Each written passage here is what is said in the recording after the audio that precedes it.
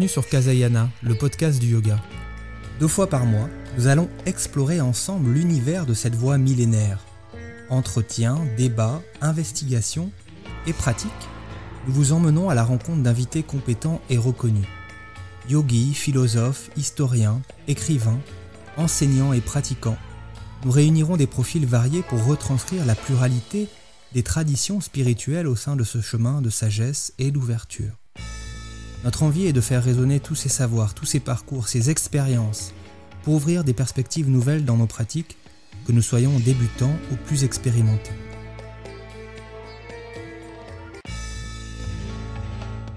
Bonjour à toutes et à tous, je suis vraiment très heureux de vous retrouver pour euh, un nouvel épisode de l'émission après cette très longue pause. Comme vous avez pu euh, le lire certainement sur euh, les réseaux, le temps, l'énergie consacrée à la réalisation de, l'émission, de la préparation des entretiens à la diffusion en passant par le montage audio, est extrêmement important. Et dans un contexte où nous avons fait depuis le début le choix de l'indépendance, le choix de ne pas insérer de publicité, nous sommes sur un modèle de partage, de gratuité, qui ne permet pas toujours de garder une fréquence euh, aussi ambitieuse qu'on le souhaiterait dans, dans les épisodes. J'en profite d'ailleurs pour vous préciser que nous venons d'ouvrir une page sur Tipeee, qui est un site de financement participatif, qui peut permettre à celles et ceux qui le souhaitent, rien n'est obligatoire, de soutenir l'émission de façon libre et consciente, d'accompagner d'une certaine façon euh, euh, notre élan de création euh, avec générosité, et vous le verrez aussi de devenir à votre façon contributeur du podcast. Ce soutien permettrait très clairement de poursuivre l'émission, de développer encore les contenus, tout en conservant un principe auquel nous sommes extrêmement attachés, une émission qui est disponible gratuitement sur toutes les plateformes d'écoute, que l'on peut entendre partout quand on le souhaite, à l'instar de la radio. Donc merci d'avance à celles et ceux qui deviendront euh, les premiers soutiens, les premiers mécènes euh, du podcast. On en vient à l'émission. Aujourd'hui, j'ai souhaité que nous puissions entendre le regard d'un spécialiste de l'Inde ancienne et du sanskrit sur les Yoga Sutras, les Yoga Sutras, bien sûr, l'un des chapitres fondateurs de la littérature yogique, le texte le plus connu aujourd'hui, euh, le plus enseigné aussi dans les écoles de formation d'enseignants de, yoga au XXIe siècle. Et finalement, alors que le yoga est souvent présenté aujourd'hui comme une union du corps et de l'esprit, ou peut-être plus éloigné encore de son sens littéral premier que, que nous aborderons plus tard, comme une activité de bien-être avec une collection de postures pour s'étirer et se détendre, les traductions les plus fidèles des textes anciens, et notamment de ces sutras, nous disent presque tout le contraire. L'indianiste, d'ailleurs Michel Angot, va jusqu'à parler d'un suicide du corps quand il parle de ce yoga des origines. Un suicide du corps euh, qui serait un, salut de l'émancipation de l'âme et euh, le chemin le plus évident pour ceux qui souhaitent échapper au cycle perpétuel des morts et des naissances. Cette histoire du yoga, qui se dévoile progressivement, nous montre finalement le chemin qu'a parcouru cette pratique ancestrale jusqu'à nous. Certains des invités de l'émission de la saison 1, l'historien Alexandre Astier ou, ou Isée Masculier notamment, ont offert leur lumière sur ce long voyage à travers les siècles, sur les métamorphoses et les variations successives qui témoignent de ce décalage important entre le yoga de Patanjali et euh, le yoga le plus couramment pratiqué de nos jours. Comme souvent dans l'émission, sans chercher forcément à juger de l'intérêt, des mérites ou des pertes éventuelles de cette évolution, nous allons ensemble plonger dans l'Inde ancienne pour tenter d'éclaircir la façon dont le yoga a été perçu, la façon dont il était compris et pratiqué il y a 2000 ans. Et pour cela, nous allons visiter ces Yoga Sutras avec euh, Marc Balanfa, philosophe et sanskritiste, qui a proposé une nouvelle traduction au sein de l'encyclopédie du yoga sortie en 2021 chez Albin Michel, traduction qui fera d'ailleurs l'objet d'un livre spécifique qui sortira d'ici quelques jours, toujours aux éditions euh, Albin Michel. Bonjour Marc Balanfa. Bonjour Vincent. Marc Balanfa, vous êtes euh, agrégé de philosophie, docteur en histoire des religions, ancien directeur de programme au Collège international de philosophie, traducteur du sanskrit et spécialiste des philosophies de, de l'Inde ancienne. Vous avez traduit la Bhagavad Gita en 2007 et vous venez donc de proposer une nouvelle traduction des Yoga Sutras de Patanjali en vous appuyant sur les commentaires de Vyasa, qui était le premier euh, exégète du texte. Ma première question vise à, connaître un petit peu déjà le contexte de l'écriture de ces aphorismes du yoga. Les controverses, vous le savez, ne manquent pas sur l'identité de ce fameux Patanjali, le présumé auteur du texte. Est-ce qu'il a réellement existé? Que pouvez-vous nous dire sur ce, ce Patanjali? Est-ce que c'est un nom qui est donné à un, groupe de personnes, un groupe de compilateurs? Qui auraient cherché à un moment donné à codifier, à rassembler finalement les différents regards sur le yoga qui existaient à cette époque. Alors s'agissant du contexte, on est à peu près certain, je dis bien à peu près certain aujourd'hui, que Patanjali serait plutôt un prête-nom, c'est-à-dire que au fond c'est un nom à, résonance brahmanique et euh, qui pouvait servir à, donc à plusieurs auteurs, qu'on appellerait des yogins aujourd'hui, des ascètes, à se donner une espèce de vernis culturel euh, acceptable. Parce que si on remet le contexte historique, euh, si on le reprend en place, euh, on est sous l'ère Gupta, hein, donc sous l'empire Gupta. Or, on sait aujourd'hui par les études historiques que l'empire Gupta a essayé de réagir contre trop d'ouverture qui avait été donnée par le premier empire, l'empire des Maurya. Donc, avec les Gupta, on revient à une culture védique traditionnelle. On revient donc à une forme de, de traditionnalisme et prendre un nom euh, à consonance brahmanique c'est évidemment recevoir l'appui des Gupta, de manière à peu près certaine. Donc on, ne, on ne pense pas que Patanjali soit une personne réelle, c'est certainement le nom que plusieurs personnes ont voulu prendre pour avoir une espèce de certificat euh, d'authenticité culturelle de la part de l'Empire Gupta. Justement, ces, ces, compilateurs, donc qui seraient certainement plusieurs, qui sont-ils? Est-ce qu'on sait quelque chose d'eux? Alors, ce qu'on sait à peu près aussi de manière certaine, là je m'appuie surtout sur les travaux d'un grand spécialiste du Samkhya américain qui s'appelle Larson. Il pense qu'effectivement il y a deux traditions, euh, deux traditions qui viennent du Samkhya et qui sont à l'origine des Yoga Sutras. L'une donc, euh, c'est les chapitres 1 et 4, qui serait une tradition plus réformatrice, par exemple qui a totalement abandonné le concept de corps subtil qu'on voit dans les Samkhya Karika, et l'autre euh, livre 2 euh, et 3 ou chapitre 2 et 3, qui serait euh, une tradition du Samkhya plus fidèle à la pensée du Samkhya. Donc on pense que voilà que parmi tous les disciples du Samkhya, au 4e donc 5e siècle de notre ère, s'est dessinée une divergence entre certains qui acceptent des réformes et qui vont peut-être loin dans les réformes et qui se sont exprimés dans les chapitres 1 et 4 et les autres qui, au contraire, voulaient euh, rester fidèles à l'esprit du Samkhya et qui ont donc, euh, je dirais, qui sont à l'origine des chapitres 2 et 3. Et il faut bien voir que même ceux qui sont, je dirais, des traditionalistes ont quand même beaucoup innové par rapport à ce que disaient euh, les textes de Samkhya de cette époque. Il y a aussi une controverse euh, qui existe aussi sur le fait que peut-être le troisième et plus certainement le quatrième livre aurait été écrit peut-être plus tardivement par rapport aux deux premiers. Qu'est-ce que vous pouvez nous dire Ça, on n'a pas tellement de, moyens de le dire. Euh, moi, j'ai tendance à penser, il y a tellement de liens entre les chapitres 1 et les chapitres 4 qu'on ne voit pas comment le chapitre 4 serait vraiment beaucoup plus tardif que le chapitre 1. Hein. surtout par rapport euh, à la querelle avec le bouddhisme, dont on reparlera. Du coup, si on devait dire euh, de façon générale, qu'est-ce que sont les Yoga Sutras? Parfois, ils sont présentés comme euh, voilà, un vrai traité de, yoga, parfois comme un manuel même de pratique par certaines écoles qui ont, modernisé un petit peu la, traduction. Euh, est-ce que c'est un, des premiers finalement textes de, l'histoire même sur la psychologie humaine, sur le fonctionnement du mental, qui est quand même abordé assez longuement dans ce texte-là. Est-ce qu'il a une dimension ou pas philosophique? Qu'est-ce qu'il apporte dans la philosophie de l'époque? Est-ce que c'est un peu de tout ça? Qu'est-ce que c'est les Yoga Sutras pour vous? Euh, C'est certainement plus un traité philosophique qu'un traité euh, pratique, hein, puisqu'on on en reparlera. Euh, la place qui est consacrée aux, postures en elles-mêmes et aux, et aux célèbres 8 degrés du yoga, c'est une place quand même relativement minime par rapport à, je dirais, à la réflexion philosophique.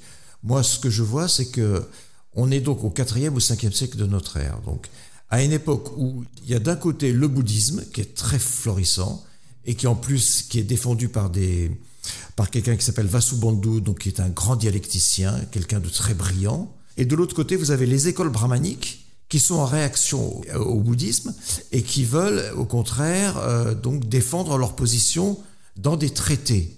Or, moi, ce que je pense, c'est que ces disciples du Samkhya ont voulu créer une nouvelle école qui est le yoga et en prenant modèle sur les écoles brahmaniques, se sont dit qu'il fallait produire un traité de base sous forme de sutra. Parce que toutes les écoles brahmaniques avaient à leur, euh, à leur fondement un traité sous la forme de sutra. Mais ça ne veut pas dire nécessairement que le yoga est une école brahmanique. Moi, ce qui m'intéresse, plutôt de montrer que le yoga se veut une école à part entière, qui n'est ni dans le brahmanisme, ni dans le bouddhisme, qui serait donc autonome, et qui serait à la fois en débat avec le brahmanisme et en débat avec le bouddhisme. Et est-ce que c'est pas aussi cette émergence qu'on voit, on en parlera, des traces de, l'ascétisme? Est-ce que finalement ce mot yoga, c'est pas un peu toutes ces, écoles, ces traditions, ces approches différentes, le brahmanisme d'un côté, le bouddhisme, qui l'ont un peu fait leur, enfin, essayer de le récupérer, ce terme? Oui. Au contraire? Ah, ce que l'on voit en tout cas, c'est que le mot yoga est totalement absent des Samkhya Karika, enfin du Samkhya classique, hein. de même que le mot mental d'ailleurs, chitta, le mot mental est totalement absent du, du Sankhya. Ce que l'on peut voir, c'est que ce sont probablement des écoles bouddhiques qui ont mis à l'honneur le mot yoga, mais il y avait aussi la Bhagavad Gita. Hein. Euh, et si l'on pense que la Bhagavad Gita, c'est le deuxième siècle, ou même le deuxième siècle avant ou, le deuxième siècle après, la, Bhagavad Gita, dans le brahmanisme, c'est vraiment le, le grand texte qui a mis à l'honneur le mot yoga. En face de ça, vous avez effectivement les écoles de yoga du bouddhisme, qui, développe, donc un yoga centré surtout autour de la méditation, dhyana, mais qui pas, n'arrivent pas à donner un sens clair au mot yoga. Or, ce qui est intéressant avec les Yoga Sutras, c'est que là, pour la première fois, on a une définition parfaitement claire du yoga, ce que, ce que l'on ne trouve pas dans le bouddhisme. On va y venir euh, d'ici peu à cette définition. Juste avant, sur la forme générale du texte, on retrouve cette forme un petit peu laconique hein, des, textes de l'époque une syntaxe très minimaliste, ça c'est classique. Ça c'est classique, ça vient du brahmanisme effectivement, ça vient des traités de sutras. Hein. C'est le brahmanisme, je dirais que ça a même commencé au IVe siècle avant notre ère, avec un grand traité de grammaire qui est dû à Panini, euh, qui est un traité de grammaire d'une extrême brièveté. C'est lui, je dirais, qui a inventé cette forme extrêmement laconique. Et après lui, je dirais que les brahmanes par déférence envers Panini, ont eu à cœur de, euh, aussi de donner à leur traité la forme la plus laconique possible. C'est une espèce de, comment dire, on pourrait dire, une, espèce de virtuosité grammaticale et philosophique. Être capable de dire le maximum de choses avec le minimum de mots. Oui, c'est vrai que c'est assez, euh, assez extraordinaire, mais finalement, cette forme laconique, elle m'amène à une autre question. Est-ce que c'est pas justement cette forme un petit peu minimaliste qui euh, a a fait émerger beaucoup d'interprétations différentes euh, du texte. Et ça m'amène une question plus générale, même sur le rôle de traducteur, que vous avez d'ailleurs souhaité rappeler en avant-propos de, votre traduction dans l'encyclopédie. Euh, voilà, alors même que des, centaines de traductions, qui sont même parfois contradictoires, ont fleuri, notamment au XXe et au XXIe siècle. Comment vous pouvez euh, nous, parler de, ce travail? Comment vous le concevez, ce travail de traduction? Comment vous avez procédé pour traduire les sutras est-ce que, selon vous, c'est une bonne chose d'ailleurs que les traductions se multiplient avec souvent des regards euh, très différents? Bah, je crois que c'est le destin des textes qu'on dit classiques. Et oui, vous on a la même chose dans la littérature européenne. Enfin, qu'est-ce qu'on appelle un texte classique? C'est un texte qui ne cesse d'être repris, relu, réétudié, quitte effectivement à donner lieu à des interprétations complètement divergentes. Mais c'est ce qui fait la force d'un texte classique. Donc, on peut déjà pour répondre à votre question, dire que les Yoga Sutras sont un grand texte classique puisqu'ils sont aussi euh, souvent euh, traduits, interprétés, étudiés. Bon, ensuite, il faut bien voir que quand je disais qu'ils euh, ont utilisé cette forme du sutra pour effectivement copier le, le, modèle du brahmanisme, il y a aussi une autre raison, c'est que le sutra donne une position de force au maître, au gourou, puisqu'il est là pour expliquer ce sutra. Donc il faut bien voir que ça a aussi un but pédagogique. Hein. Le maître demande à ses disciples d'apprendre par cœur les sutras, et une fois qu'ils les savent par cœur, lui, son rôle, c'est de les questionner, de leur proposer des interprétations. Il y a aussi un, but, euh, en dehors du but philosophique, il y a aussi un but euh, hautement pédagogique. Juste peut-être un exemple sur ces traductions euh, entre guillemets modernes, même si elles datent plutôt du, début du XXe siècle. On le sait, Krishnamacharya a a basé sa modernisation du yoga sur les Yoga Sutras pour un certain nombre de, raisons, puisqu'il était euh, issu d'une famille de brahmanes et qu'il devait donner une légitimité finalement à cette, ce nouveau regard aussi sur le yoga, une, légitimité historique, l'ancrer aussi dans la, dans la tradition indienne. Mais est-ce que ce travail-là n'a pas, selon vous, dénaturé, entre guillemets, le texte, le fait qu'on puisse finalement baser en fait une pédagogie moderne du yoga sur un texte extrêmement ancien en extrapolant ou en tout cas en donnant vraiment un regard euh, très neuf sur un certain nombre de termes. Est-ce que est-ce que c'est quelque chose qui vous gêne ou est-ce que ça vous paraît être euh, une évolution euh, plutôt positive? Moi, je crois que les Yoga Sutras sont tellement riches, enfin, ils sont capables de résister par eux-mêmes, au fond, à toutes les interprétations qu'on peut en proposer. Euh, Krishnamacharya, bon, il a quand même pour lui d'être celui qui a redonné vigueur à la pratique du yoga, ça y a pas de doute. Hein. Bon, moi j'ai fait du yoga en Inde avec euh, Iyengar, donc qui était son grand disciple. Euh, donc Iyengar aussi a une interprétation assez personnelle des Yoga Sutras. il a beaucoup travaillé sur les Yoga Sutras. ce que ça montre en tout cas, c'est que ces gens-là, comme Krishnamacharya Iyengar, qui sont avant tout des, des yogins, ont eu quand même euh, le souci de lire le texte et de le lire même attentivement. Alors effectivement, on peut ne pas être d'accord avec leur interprétation philosophique, par exemple euh, d'Ishvara, bon ça on en reparlera tout à l'heure, mais euh, ça montre au moins qu'ils ont conscience qu'on ne peut pas pratiquer le yoga sans avoir une bonne connaissance des Yoga Sutras, en arrière-fond. Cet arrière-plan finalement philosophique, spirituel aussi euh, de la pratique, pour vous, il est donc un peu indispensable pour vraiment comprendre ce qu'est le yoga? Ah, Je pense, oui, je pense. Ce que je vois, c'est que moi, je continue à pratiquer le yoga aujourd'hui, aussi en France. Et quelquefois, j'entends euh, mon professeur de yoga utiliser le mot conscience. Alors, je me dis, oui, peut-être que par moment, c'est pas exactement ce mot-là. Mais au fond, je pense que c'est pas si important que ça. Je pense que ce sont des, des différents qu'on peut avoir, mais qui peuvent être aussi vite euh, évités. il suffit après de se mettre d'accord sur le, sens des mots que l'on emploie. Et ça, je pense que entre, entre yogins qui ont lu les Yoga Sutras, c'est possible. C'est possible à réaliser. Ce débat, il ouvre finalement aussi encore une nouvelle question.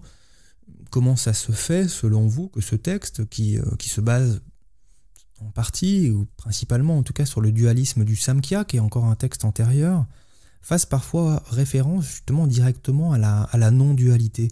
Euh, ce qui fait que aujourd'hui on a des, traductions qui sont plutôt issues de personnes euh, dans des courants, euh, on va dire, non-duels, et au contraire des personnes qui, qui martèlent que les Yoga Sutras sont un texte, sont un texte duel. Ça, je crois qu'effectivement, ça vient en fait des Yoga Sutras eux-mêmes. C'est-à-dire que quand on lit le commentaire de Vyasa, dès le début, c'est vraiment le tout début de son commentaire, il veut préciser le sens de la racine yuj, qui a donné le mot yoga. Or, il dit bien que yuj signifie l'absorption et que yuj donc ne signifie pas l'union. Mais on sait bien qu'il y a ces deux racines, yuj, une qui signifie absorption et l'autre qui signifie union. Et aujourd'hui, c'est vrai euh, il est vrai que, tous les professeurs de yoga, je pense, dans leur majorité, disent, quand ils commencent leur année, le mot yoga signifie union, parce qu'ils prennent la racine yuj, qui a le sens d'union. Mais il y a les deux racines, au fond. Donc je dirais que cette ambiguïté, elle est déjà euh, dans le mot yoga lui-même. Et comme en Inde, on, revient toujours à la grammaire, enfin, qu'est-ce que vous dirait un grammairien? Il vous dirait, il y a deux racines yuj, l'une ne peut pas exclure l'autre, les deux racines sont là. Donc quelqu'un qui dit le yoga a le sens d'union, on ne peut pas lui dire c'est faux.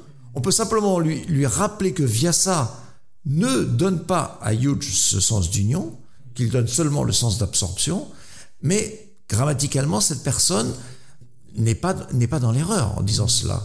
Alors il faut bien voir que, par exemple, on sait aujourd'hui, euh, il y a des, le yoga bénéficie d'un regain d'intérêt. Il y a même un journal qui s'appelle le Journal of Yoga Studies, qui vient d'être créé il y a quelques années, qui n'existait pas autrefois. Et qu'est-ce qu'on voit aujourd'hui C'est que dès le 7e siècle, c'est-à-dire au fond deux siècles après les Yoga Sutras, le sens de yoga est de façon prédominante plutôt le sens d'union. Vous voyez, donc en deux siècles seulement, on est passé d'un yoga qui signifie absorption à un yoga qui signifie union. Oui, et ça, ça anticipe tout à fait ce que dira ensuite Shankara, le premier, enfin le second euh, grand commentateur des, Yoga Sutras. Après vient ça.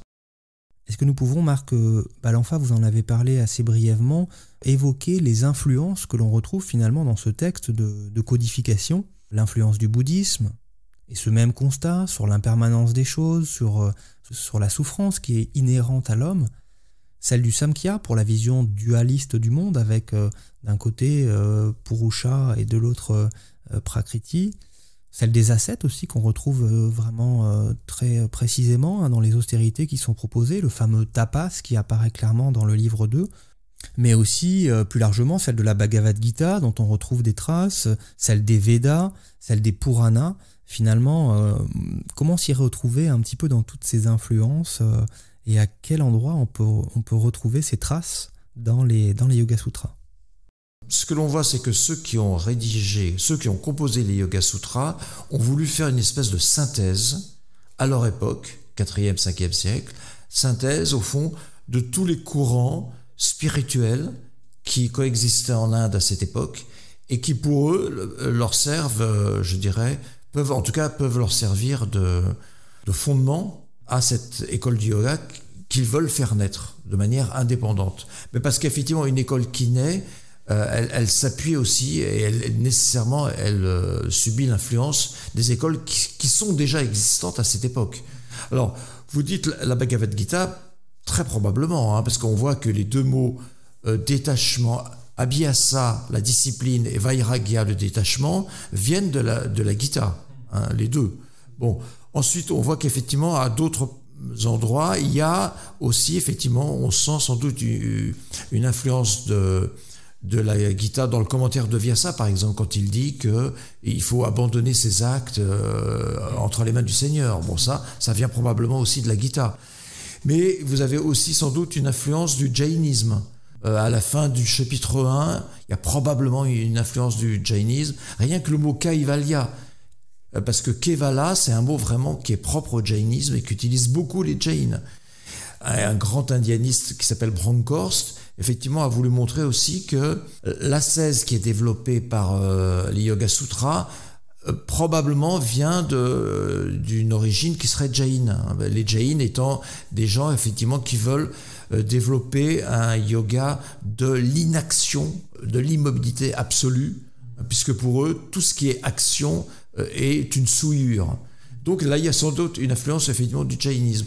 Ensuite, il y a l'influence du bouddhisme, évidemment, qui est considérable, j'en parlais tout à l'heure, puisque ce sont quand même les, bouddhistes qui utilisent beaucoup le mot yoga, même s'ils n'arrivent pas à lui donner une définition claire, et surtout qui mettent en avant la pratique de la méditation, qui est très très importante dans le bouddhisme, et qui deviendra un des huit degrés euh, du yoga euh, dans les Yoga Sutras.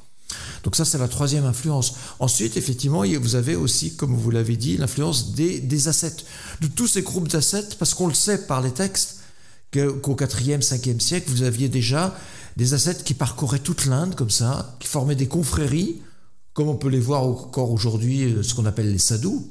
Et euh, donc ces ascètes, euh, en tout cas, ils ont montré à ceux qui ont composé les Yoga Sutras que ces gens-là recherchaient une forme de, paix intérieure euh, en mettant en accord euh, le mental euh, et, le corps.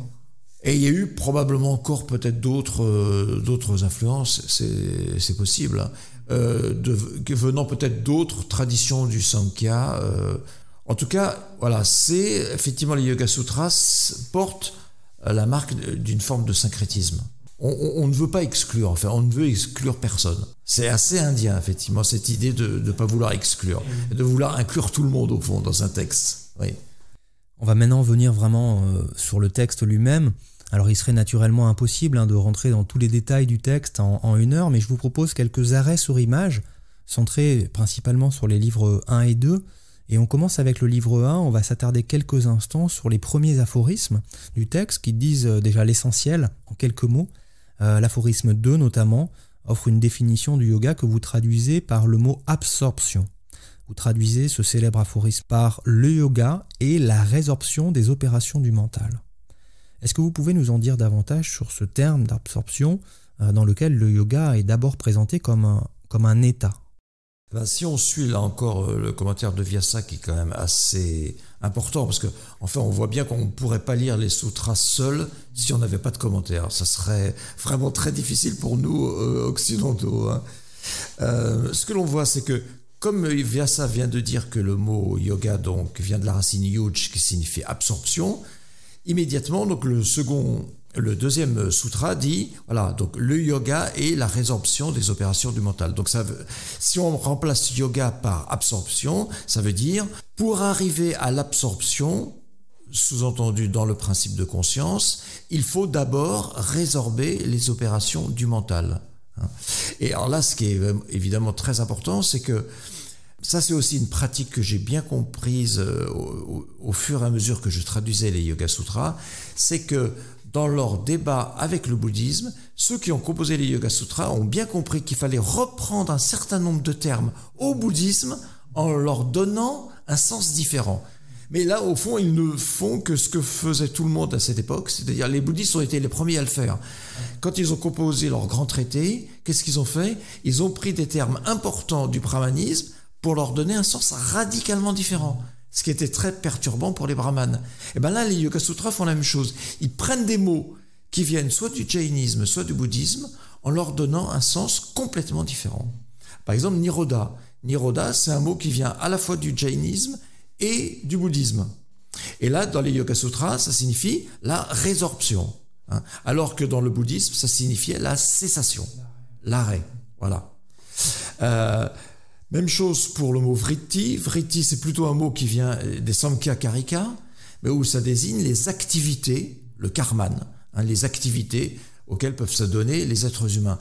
Et là, ça prend un sens différent, ça prend le sens de opération, hein, puisque dans le Sutra 6, on dira qu'il y a cinq grandes opérations euh, mentales, et la première d'entre elles étant la connaissance. Donc on est loin là du sens d'activité, voyez, euh, auquel on peut s'adonner et surtout le mot le plus important, le mot euh, chitta, le mental, qui est totalement absent euh, euh, du, du Samkhya et qui vient probablement du bouddhisme, sauf que dans le bouddhisme, chitta signifie la conscience. Or, qu'est-ce que font les auteurs du Yoga Sutra? Ils reprennent ce mot qui vient du bouddhisme en lui donnant un sens complètement différent, puisque pour eux, ça, ça va signifier le mental et seulement mental, auquel s'oppose justement le principe de conscience. Au fond, pour comprendre, pour donner un sens à tout ça, il faut bien voir que on est à une époque où il y a de grands débats philosophiques organisés par les souverains Gupta et qui opposent la plupart du temps des philosophes du brahmanisme à des philosophes du bouddhisme. Voilà. Donc si on oublie qu'il y a cette pratique du débat derrière, on comprend pas pourquoi les, auteurs euh, des, des, Yoga Sutras vont prendre des termes au bouddhisme et leur donner un sens différent. C'est parce que tout ça, ça vient de la pratique du débat. Donc dans la pratique du débat, ils ont compris que le mot chitta était un mot important du bouddhisme, et ils se sont dit, bon ben nous, on va le reprendre, on va se l'approprier, mais en lui donnant un sens complètement différent, pour perturber les bouddhistes. Ensuite, on a l'aphorisme 3 qui arrive finalement tout de suite après, dans lequel euh, Patanjali, les compilateurs en tout cas, précisent ce qui arrive lorsque le mental est, euh, est entièrement résorbé. Le principe conscient apparaît. Vous dites qu'à ce moment, le yogi accède à l'intuition qu'il est pur sujet conscient. Est-ce que vous pouvez nous décrire cet état de yoga dont vous précisez hein, qu'il n'est pas en lui-même la fameuse libération, le kaivalya du livre 4 euh, Ce sutra annonce au fond ce qui sera ensuite euh, plus clairement manifesté à la fin du, du chapitre 1, c'est-à-dire que dans la vie quotidienne, nous sommes tellement occupés par notre mental que nous n'avons aucune connaissance qu'il peut y avoir en nous un autre principe que le mental. Donc le but du chapitre 1 des Yoga Sutras, c'est de faire comprendre au yogin que euh, même si son mental l'occupe tous les jours, et même si, comme on va en parler tout à l'heure, euh, la pratique des degrés du yoga repose elle aussi sur le mental, le but au fond c'est de lui faire découvrir qu'il y a une autre réalité en lui, que les Yoga Sutras appellent Purusha, le principe de conscience, mais que cette réalité, pour y accéder, il faut d'abord qu'il puisse résorber les opérations du mental. Parce que c'est très clair, tant que les opérations du mental continuent d'occuper l'esprit euh, le mental justement, le mental du, du yogin, il ne peut pas se dire qu'il y a en lui une autre réalité. Et, au fur et à mesure qu'il va pacifier ses opérations mentales, qu'il va les calmer et qu'il va les résorber, là tout d'un coup va se manifester en lui une autre réalité qui est le principe euh, de conscience. Et c'est à ce moment-là qu'effectivement qu'il comprendra au fond qu'il est plus même ce principe de conscience que le mental. Pourquoi?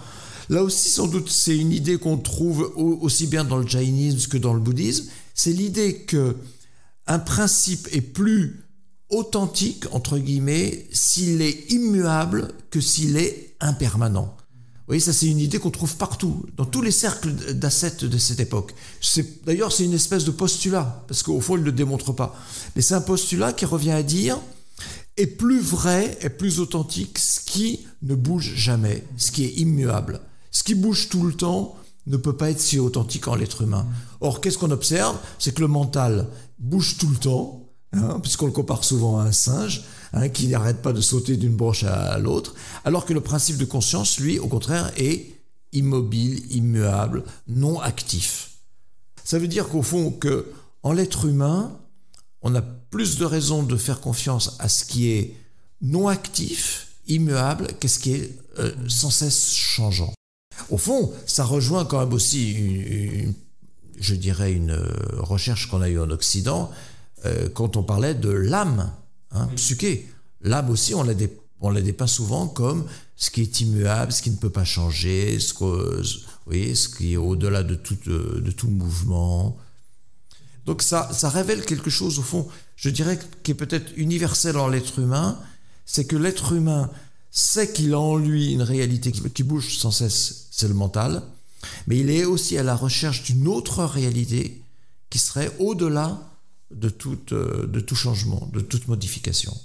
Justement, cette réalité qui bouge sans cesse, donc le fameux mental, on parle de résorption, mais est-ce que c'est une résorption partielle ou est-ce qu'on est dans une résorption totale selon les premiers commentateurs pour que ce principe justement conscient apparaisse? Tout ça, c'est une question ah, du coup qui renvoie à la, pratique directement. Est-ce qu'à un moment donné, pour arriver à cet état de yoga, euh, ça suppose du coup une résorption totale des pensées, c'est-à-dire qu'il y a une absence de pensée C'est-à-dire que c'est toute la difficulté quand on suit le cheminement du chapitre 1, on voit au fond que quand on croit être arrivé, ben on nous dit non, non, on n'est pas encore arrivé. Il y a encore un stade, on a l'impression qu'il y a toujours un stade euh, ultérieur parce que bah, parce que même quand on croit par exemple que nos pensées sont complètement apaisées, eh bien il y a ce qu'on appelle des empreintes, des empreintes inconscientes, samskara. Et ces empreintes inconscientes font que, au fond, rien n'est jamais acquis et qu'à tout moment peut être réactivé, vous voyez, une pensée que j'ai eue il y a longtemps, que je, que je croyais complètement éteinte, et non, au fond, elle peut revenir à tout instant. Ça montre euh, que ces yogins, et en tout cas, euh, s'analysaient beaucoup eux-mêmes, et qu'ils étaient très attentifs au fond effectivement à leur fonctionnement psychologique au fond, à ce qui peut se passer dans le mental d'un individu. Euh, on croit être arrivé au bout et en fait on n'est jamais au bout, il y a encore une étape ultérieure. Et par exemple, ce que montre bien le chapitre 1, c'est qu'il y a deux types d'absorption. Il y a l'absorption avec germe et l'absorption sans germe. Alors là, si on arrive à atteindre l'absorption sans germe, abidja, alors là, on peut se dire qu'effectivement, euh, le principe de, conscience peut pleinement se manifester, que plus rien ne peut lui faire écran. Mais la question est, comment est-ce qu'on est certain de pouvoir atteindre cet état d'absorption sans germe? Ça, je pense que seuls quelques yogins peuvent dire qu'ils l'ont atteint cet état. Vous évoquez les fameux samskaras, on y viendra un petit peu plus tard puisqu'ils sont, sont abordés euh, dans le livre 2. Mais, j'en profite puisqu'une question me vient à ce sujet-là. La psychanalyse est une approche beaucoup, plus moderne qui prétend, euh, avec tout le travail très intéressant qui a été fait, avoir découvert finalement un petit peu cet inconscient humain. Mais, cette expérience finalement que, menaient les yogis par, euh, par l'auto-observation, par l'auto-analyse, est-ce qu'on n'est pas déjà dans, dans, une première approche finalement de, de l'inconscient, dans, dans la découverte d'un arrière-plan euh, de pensée qui, euh, d'habitude, qui euh, finalement nous conditionne un petit peu à notre insu. en tout cas, moi, je connais aussi des, psychanalystes qui s'intéressent au Yoga Sutra et à la culture indienne parce qu'effectivement, ils voient bien que la culture indienne, très tôt, hein, dès le IVe siècle de notre ère, a, mis le doigt sur le fait que l'être humain peut être déterminé à son insu, donc de, ce qu'on appelle de façon inconsciente, par ce qu'ils appellent donc des samskaras, des empreintes, mais aussi les vasanas, les imprégnations inconscientes. Et par exemple, ce qui est tout à fait révélateur, c'est que le bouddhisme, qui donne à chitta seulement le sens de conscience, a, eu, euh, a eu besoin d'inventer un concept très étrange qui est le concept de conscience de tréfonds à la Yavijnana pour là aussi rendre compte de cette existence de quelque chose d'inconscient à l'être humain. C'est-à-dire que les Indiens ont le sentiment que la conscience, effectivement, c'est ce qui devrait caractériser euh, et ce qui devrait faire la dignité d'un être humain, mais qu'il y a toujours ces traces comme ça résiduelles euh, et qui nous viennent des existences antérieures, puisque là on est dans la théorie de la, de, la transmigration. Donc ça montre aussi que l'être humain est sans cesse, je dirais, euh, sous l'influence d'un passé dont il ne sait rien, et d'un passé qui a été vécu par d'autres que lui, et un passé au fond qui continue d'influencer aussi bien ses pensées que ce comportement, que sa parole, que ses actions morales. Et ça, je trouve que c'est vraiment quelque chose de très intéressant. Oui, puisque finalement, ça renvoie à la fois à la notion de d'inconscient individuel, qui est plus celui développé par les, les psychanalystes, mais même Jung avait parlé d'inconscient collectif. Finalement, on peut imaginer quand il y a eu on, nous aurions eu, selon cette philosophie-là, cette approche, plusieurs vies, et finalement, toutes ces vies auraient laissé, en fait, dans l'être humain que nous sommes aujourd'hui, des traces euh, qui sont perceptibles que quand euh, les pensées principales, le premier plan, se met un petit peu au repos, quoi. Bah, je dirais que, oui, moi, je, pense que même que la culture occidentale, au fond, pourrait euh, trouver de, l'intérêt à cette doctrine. Parce qu'au fond, ce qu'on appelle, nous, la culture, si on y réfléchit bien, on dit qu'on reçoit l'influence de la culture, de, de tel, ou tel écrivain du passé, de tel ou tel philosophe du passé. Mais là aussi, est-ce que c'est pas une manière de dire que l'être humain ne peut pas se définir seulement par son présent, qui se définit aussi par son passé, et que je suis certainement aujourd'hui influencé par des lectures que j'ai faites quand j'étais étudiant, mais dont je n'ai plus aucun souvenir, conscient en tout cas. Et ces lectures que j'ai faites il y, a, il, y a 40 ans, 50 ans, 60 ans même quand on est euh, enfant, qui nous dit que ces lectures ne continuent pas au fond d'influer sur notre pensée aujourd'hui, sur notre comportement, sur notre rapport avec les autres. Donc au fond, ce qu'on appelle nous aujourd'hui la culture, c'est ce que les Indiens appellent euh, les traces, les imprégnations, ce que les bouddhistes appellent la conscience de tréfonds. Et moi j'y vois une espèce de convergence. Si on revient sur le texte, après euh, cet aphorisme 4, Patanjali va ensuite décrire les, cinq grandes opérations, euh, les cinq grands modes du mental, pour faire simple, connaissance, erreur, imagination, sommeil et mémoire. Et il va euh, tout de suite après donner une première méthode, une première astuce d'une certaine façon pour aller vers cet état de yoga, un aphorisme qui est connu, discipline et détachement, abhyasa, vairagya. Est-ce que vous pourriez décrire un peu plus précisément ces, euh, deux éléments?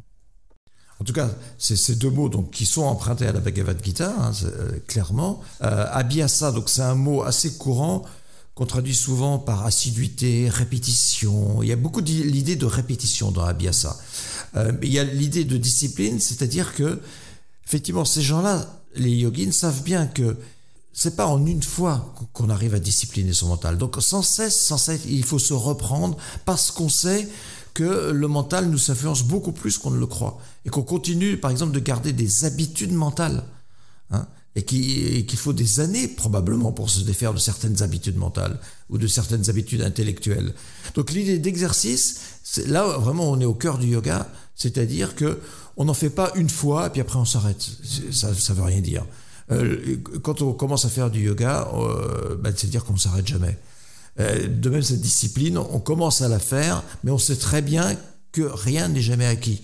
Donc il faut sans cesse reprendre, parce que le yoga repose effectivement sur, sur une forme de pratique.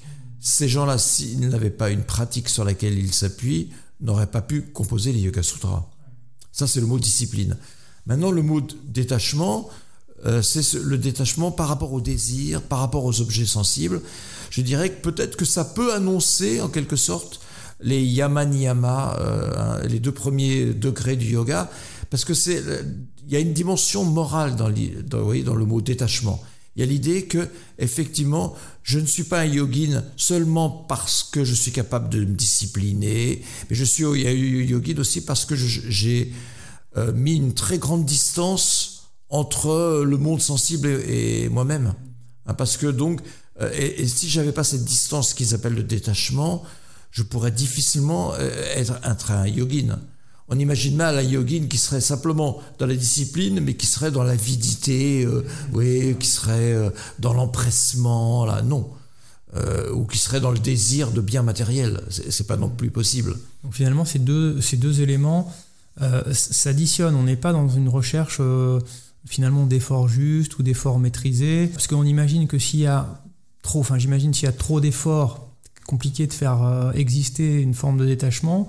Et s'il y a au contraire trop de détachement, bah peut-être que l'effort n'est pas assez présent. Est-ce que là on est dans, dans l'équanimité du bouddhisme ou est-ce que c'est vraiment les deux éléments qui sont, qui sont importants quoi, et qui s'équilibrent parce qu'ils sont tous les deux forts? Oui, les deux éléments effectivement s'équilibrent absolument. Oui, on peut, on peut pas là aussi imaginer effectivement un yogin qui cultiverait l'un plus que l'autre. Le mot vairagya, c'est certainement aussi, effectivement, ça renvoie à la tradition de, l'ascétisme, hein, puisque ça vient de raga. Donc raga, c'est euh, la passion, hein, souvent, même dans la littérature indienne euh, classique. Donc, on pourrait même traduire par dépassionnement, mais c'est un mot que bon, qui est vraiment pas beau en français, euh, c'est l'idée que euh, le yogin, euh, c'est celui qui, contrairement à ceux qui sont sans cesse dans la recherche des pouvoirs, par exemple, là, il y, aurait peut-être une divergence entre le, chapitre 1 et le chapitre 2 et 3. Parce que là aussi, la, fameuse recherche des siddhis, on le voit bien en tout cas par la littérature médiévale, sans cesse on nous dit qu'il y avait des, yogins qui faisaient peur à des rois parce qu'on les disait détenteurs de pouvoir surnaturel, etc. Et mais ce qui est gênant, c'est que au fond, tous ces yogins qui qui étaient très fiers de leur pouvoir surnaturel ne faisaient pas preuve de détachement. Parce que justement, si on fait vraiment preuve de détachement, eh bien, on n'est pas à la recherche de pouvoir, euh, de pouvoir extraordinaire, ou surnaturel. Donc là, je dirais qu'il y a déjà la trace d'un débat à l'intérieur des Yoga Sutras entre ceux qui ont composé le livre 1, j'en ai parlé tout à l'heure, et le livre 4, qui seraient donc des réformateurs, et les deux et les autres qui ont composé les livres, euh, les chapitres 2 et 3. Mais qui est un débat à l'intérieur de, l'école de yoga, ça montre bien justement que c'est une école authentique. Nous arrêtons ici pour cette première partie d'émission sur les Yoga Sutras avec Marc Balanfa. Après avoir bien posé aujourd'hui le contexte historique de ce texte, abordé ensemble les premiers aphorismes du livre 1, nous poursuivrons d'ici quelques jours avec les aphorismes suivants, en arrivant sur le livre 2 et en débordant même légèrement sur le début du livre 3, avec notamment la méditation. Nous aurons ainsi l'occasion de définir ou de redéfinir le concept d'Ishvara, d'aborder les traces dans le texte des débats philosophiques avec le bouddhisme dont nous avons un petit peu parlé aujourd'hui, avant d'arriver aux fameuses huit branches bien connues du yoga et notamment à la méditation, en passant également par les kleshas, les samskaras, tous ces concepts propres au texte yogique qui nous donnent un regard particulier sur le fonctionnement de notre psychisme. Merci encore à toutes et à tous pour votre écoute, je vous souhaite une excellente fin de journée.